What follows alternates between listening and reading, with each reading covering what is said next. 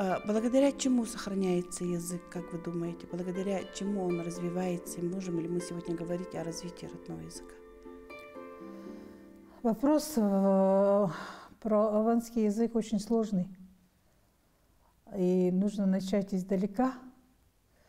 Э, алфавит и правила орфографии впервые были утверждены административным решением Комитета по развитию народов Севера в 1931 году.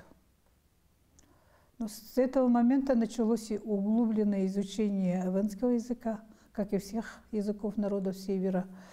И э, в то время, когда утверждали, э, его утвердили без особых каких-то исследований, э, и на основе механического перенесения э, языка на кириллицу. До сих пор это работа, вот такая же, э, вот этот алфавит используется с 1931 года.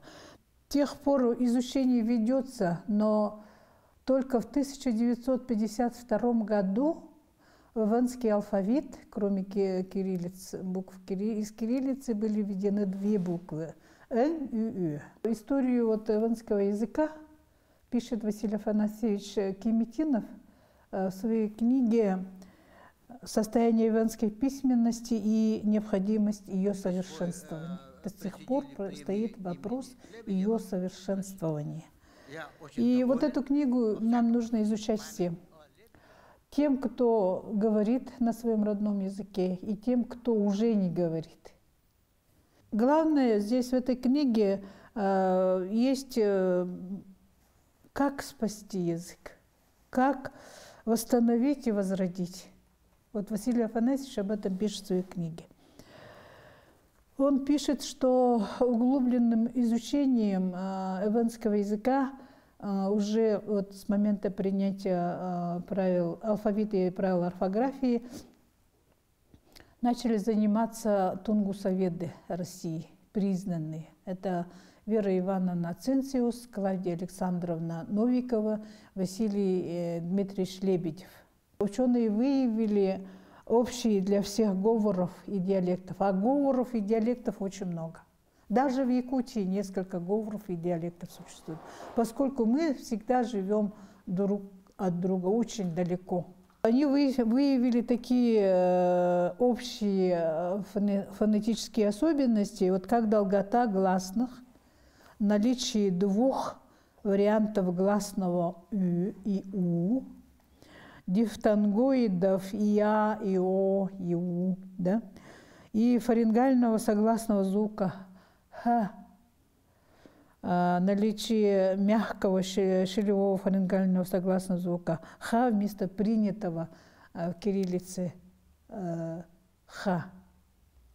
Вот эти предложения э, ученых, которые актуальны по сей день, мы все поддерживаем. Нас много, вот э, носители языка, да, э, учителя родных языков, учителя аванского языка и общественные организации – и вот нужно сказать, что язык, э, несмотря что вот 50 с лишним лет никак не могут определиться с этим алфавитом и правилом э, орфографии, язык живет по сей день.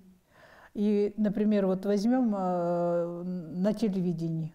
В ваших передачах все ваши участники передач говорят именно на авенском языке с учетом всех вот этих фонетических особенностей. Они используют в своих речи эти буквы, которые не достают сегодня в, э, в алфавите и правилах орфографии. Министерство образования нашей республики проводило конференцию ЮНЕСКО по родным языкам, и Василий Афанасьевич пришел к нам с большим подарком, словарем. И мы все так очень обрадовались. И когда с ним встретилась, начала с ним а, познакомилась, и он начал рассказывать, что происходит с Иванским, потому что мы все никто не понимает. Родители по сей день не понимают, почему их детей учат непонятно какому языку иванскому. С 13 года я начала записывать э, иванские слова вот, нашего рода. Э, Гербенькян, который занимал действительно огромные, обширные территории в Охотском районе Хабаровского края, части Усмайского района. И вот эта карта зафиксирована на карте Академии наук СССР. А здесь же проводились большие э, исследования, экспедиции, да, которые организован было МУСУ. За эти годы я записала 13 тетрадей. Тетра... Ну, небольшие тетради и одна большая такая толстая общая тетрадь, прошитая, как мне сказали,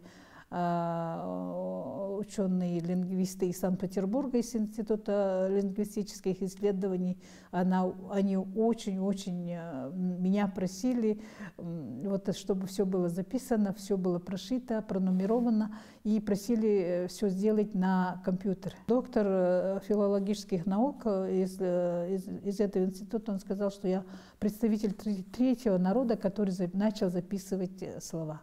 Возможно, мы опаздываем. И вот эти слова мы используем сегодня каждый день в своей работе, повседневной, повседневной работе с оленями. Вот весь наш род большой, а, Гарбанькан. И э, консультантами являются Дарья Михайловна Сенина. А Сенина, она известный э, человек нашей республики, Нимка Алан. Она народная мастерица – с малых лет работала в оленеводстве. И четверть э, века была заведующей пошивочной мастерской совхоза Тампонский. И она первая в Якутии организовала массовый пошив э, унтов с орнаментом. Это э, с орнаментом из черных и белых камусов оленя.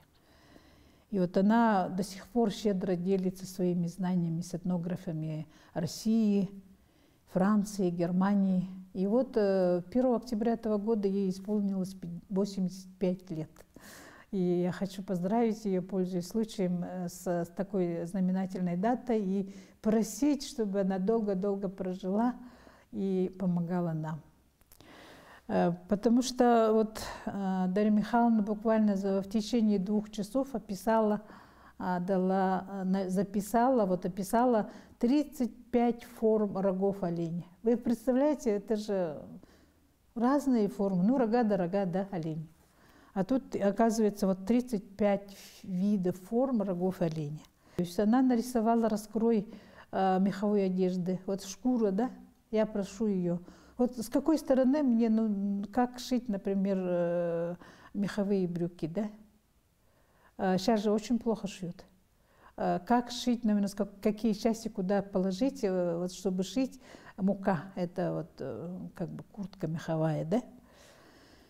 И вот она сделала рисунки, рисунки нескольких видов седел. Седла у нас есть мужские, женские, детские, разных возрастов. Там, допустим, есть очень маленькие дети ездят, и по-разному не у каждого диалекта разные названия. Например, у нас в нашем роду это дурак – а в Тополином уже конка говорят. Мы записали с ней масть оленей. Только у авенов, я думаю, очень много мастей оленя. Вот пятно, да, белое пятно на лбу оленя. А то салат.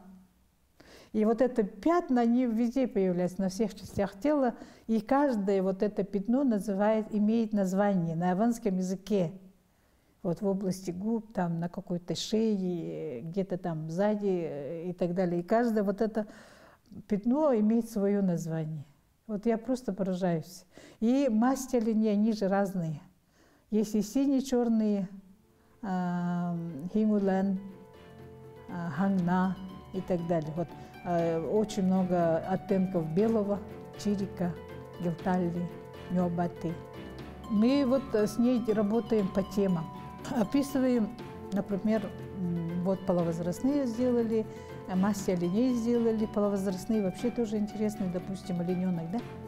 С момента рождения есть, вот как он называется, с момента, вот он родился, и сразу у него название есть до 6 месяцев, старше 6 месяцев и до года. И дальше тоже там очень много половозрастных групп. Также моим консультантом а, был мой дядя Осенин Николай Михайлович, э, всю жизнь отдавшись оленеводству. У него было много возможностей сменить профессию, другим делом заняться, но он посвятил себя оленеводству.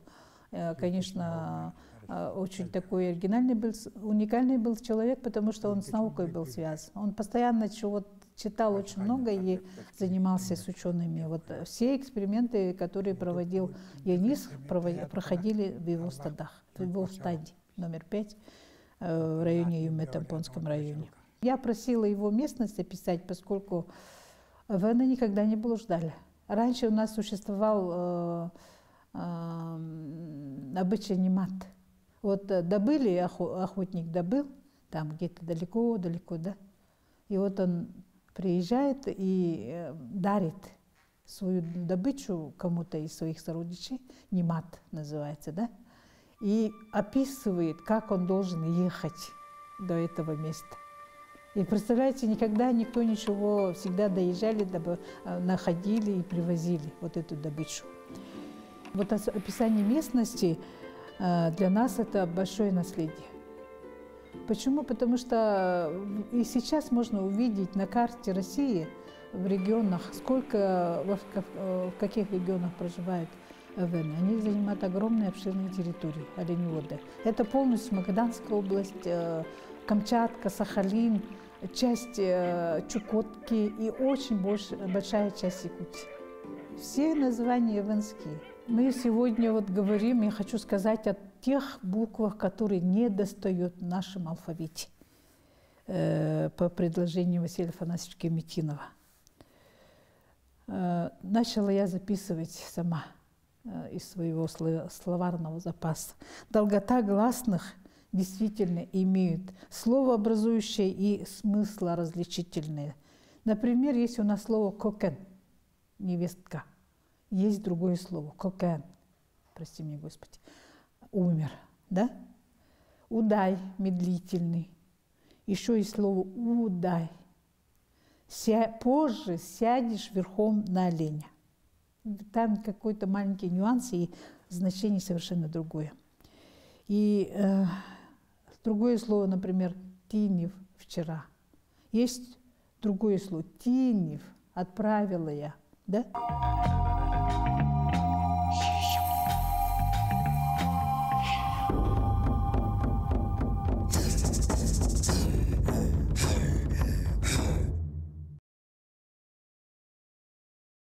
И вот я на сегодня записала более 120 пар.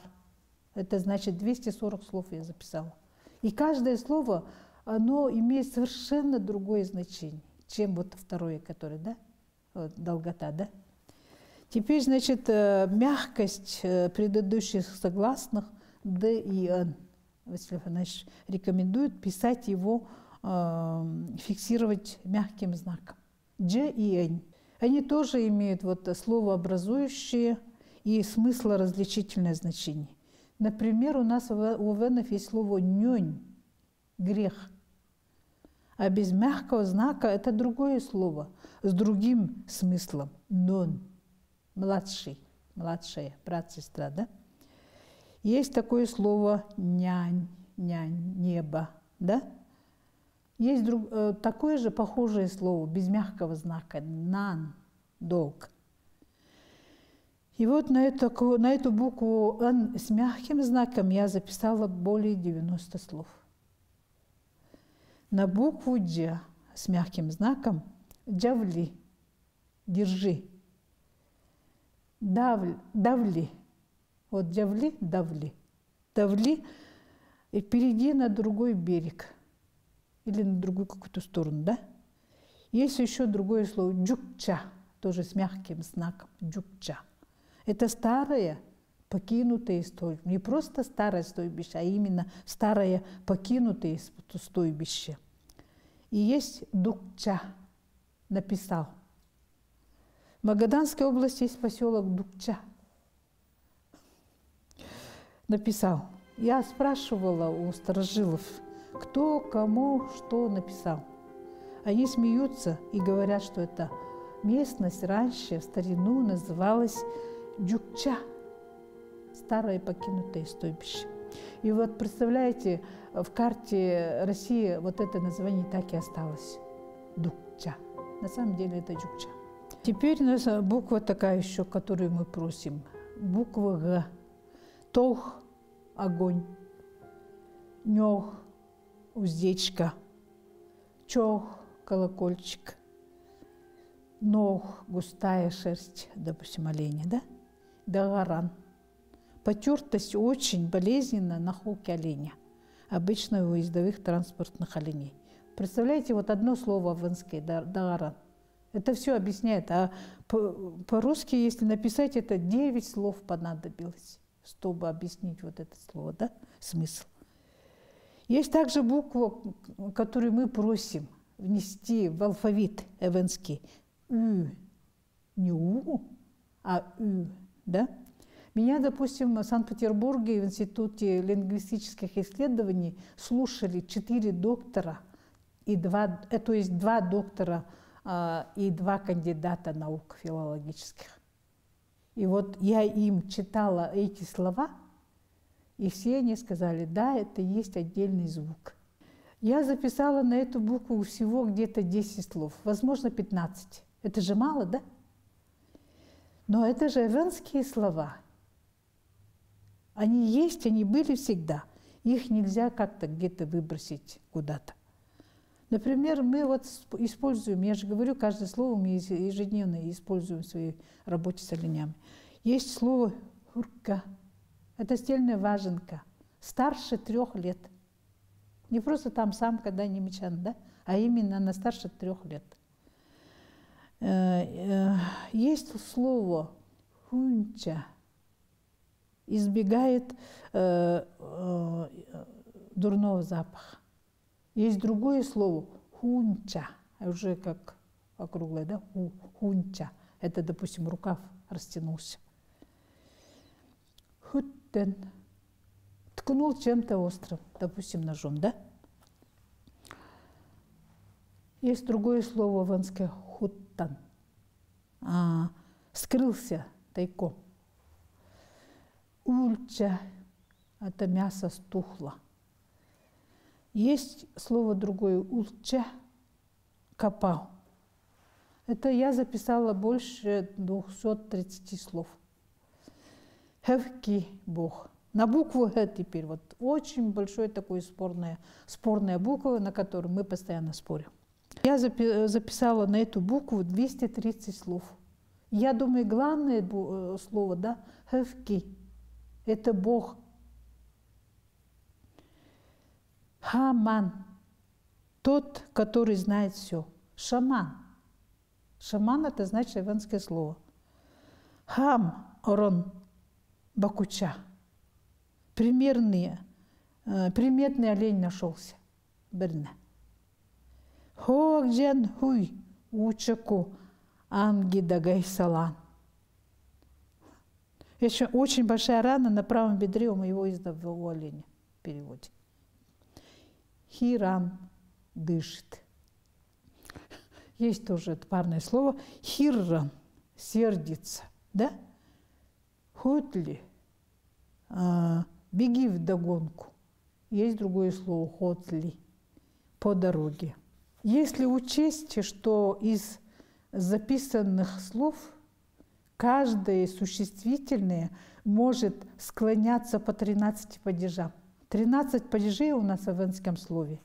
В единственном и множественном числах принимать по 7 притяжательных форм, каждое глагольное слово изменяться по 18 видовременным формам девяти формам спряжений, девяти деепричастным и шести причастным формам, семи формам лиц в единственном множественном числах, то можно представить, какое огромное количество слов, форм мы можем потерять или уже потеряли. Научной литературе этих слов нету. Все пишут «х» на букву «х». Хам. Говорят заметный. Это не хам, у нас такого слова нет. Говорят, хеди поют, хеди, хеди. У нас такого слова нет у венов. У нас есть слово хеди. Сейчас дети поют. Они очень стараются петь на аванском языке, да? И поют хо-хо. У нас такого слова нет хо-хо. У нас есть слово хо-хо. Очень-очень, да?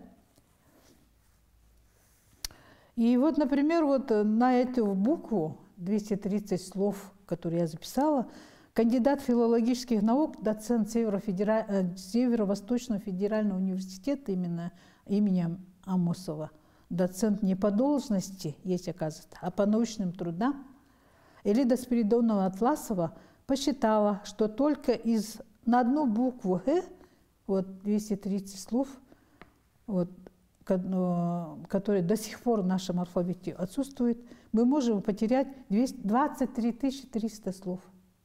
23 300 слов на одну букву. Для восстановления эванского языка во всех сферах образования, дошкольного, школьного, специального, среднего специального, да, высшего образования, использовать постановление Совета министров Якутской ССР от 7 декабря 1979 года за номером 452 и от 11 февраля 1980 года за номером 81.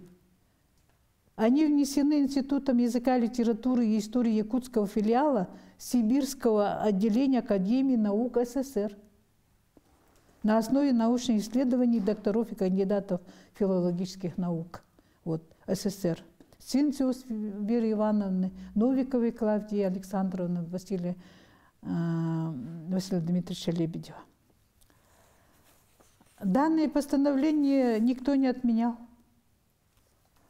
Мы обращались в Национальный архив республики. Обращались.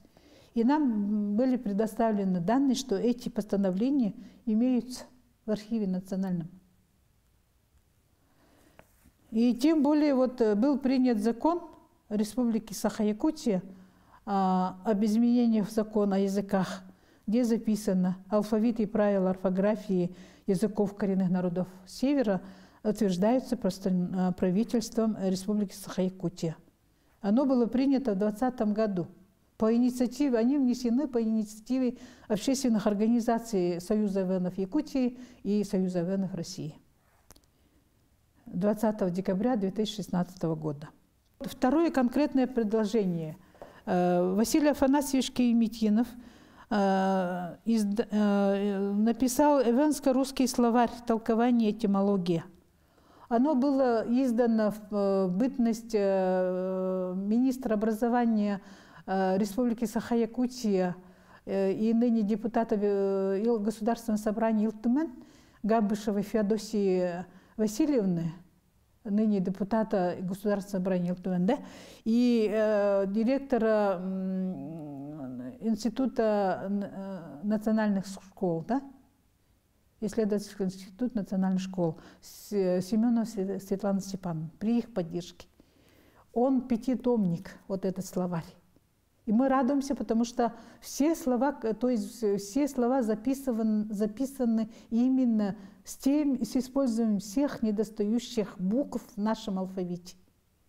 И просьба такая правительству найти возможность, возможность финансировать, из, э, ну, сейчас как называется, вот э, пере, пере, перевести эту словарь на электронный вариант чтобы каждый мог, любой житель, да, сейчас э, это э, вообще очень такой э, экземпляр этих книг, да, только, наверное, Национальной библиотеке Пушкина осталось, да, и вот изыскать средства, чтобы именно эти словари были перенесены на электронный носитель, чтобы каждый житель нашей республики, других субъектов Российской Федерации могли вот э, читать, использовать вот этот словарь.